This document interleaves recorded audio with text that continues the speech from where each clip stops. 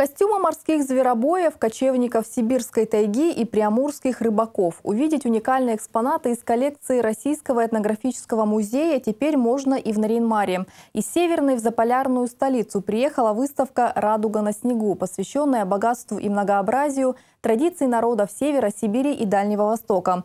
Среди множества экспонатов и редкие экземпляры, например, костюмы из кожи конца XIX века. На открытии выставки побывала и наш корреспондент Ирина Нежалова. На протяжении столетий народные умельцы создавали богатую и своеобразную культуру, используя привычные для них материалы – мех оленя и нерпы, кожу морских животных и рыбы. Традиционный костюм каждого народа имел ярко выраженную специфику. Она проявлялась в особенностях кроя, выборе материалов, украшений и расположения декора.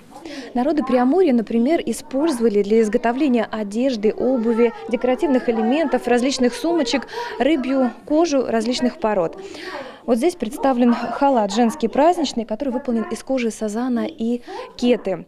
При выделке рыбья кожа становилась очень мягкой и податливой, как замша. Эта одежда была очень легкой, практичной и непромокаемой. Одежду из рыбьей кожи богато украшали орнаментами. Считалось, что они защищают человека от злых духов. Не менее уникальные экспонаты представлены и на соседнем комплексе. Он посвящен народам Восточной Сибири, приморским чукчам, которые занимались морским зверобойным промыслом, охотились на нерв, моржей и китов, из кишек которых потом шили себе камлейки. Это промысловая одежда, которая одевалась поверх меховой и защищала морских охотников от намокания.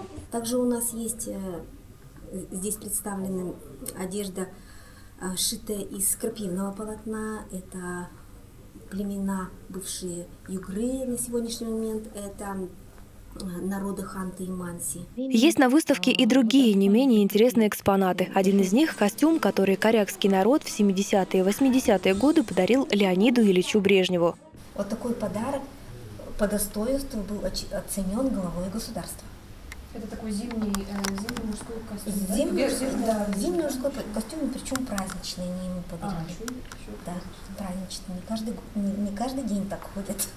Помимо костюмов о культуре народов рассказывают и предметы быта, изготовленные из меха, дерева, бересты и кости. Каждый народ, проявляя мастерство и фантазию, превращал, казалось бы, простые вещи в настоящие произведения искусства. Дополняют выставку фотографии из фондов Российского этнографического музея, знакомящие с народами, которые в сложных природно-климатических условиях создали уникальную северную цивилизацию охотников, оленеводов и самых северных коневодов мира. Ненецкий краеведческий музей а, представляют эту выставку для того, чтобы каждый живущий да, житель, так как в городе Наринмаре и во всем Ненецком автономном округе, хотя бы немножко прикоснулся к этому уникальному самобытному искусству народов Севера, Сибири и Дальнего Востока и удивился – тому, сколько же народов у нас проживает в нашей огромной большой стране России. Прикоснуться к самобытному искусству сегодня смогли воспитанники одного из детских садов Наринмара. Для дошколят знакомство с экспонатами провели в познавательно-развлекательной форме.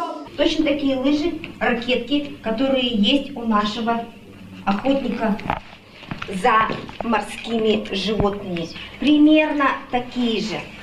И сегодня ваша задача будет Ваша задача будет пройти по снегу. Сегодня ребята побывали в роли морских зверобоев. Каждый мог примерить лыжи охотника. Помимо хорошего настроения, ребята получили новые знания, о которых обязательно расскажут своим родителям, братьям и сестрам. Окунуться в историю самобытного искусства народов Севера, Сибири и Дальнего Востока могут все желающие. Выставка «Радуга Севера» будет работать до 4 ноября. После этого экспонаты отправятся обратно в Российский этнографический музей Санкт-Петербурга. Ирина Нежалова, Дмитрий Лукевич, Владислав Носкин, телеканал «Север».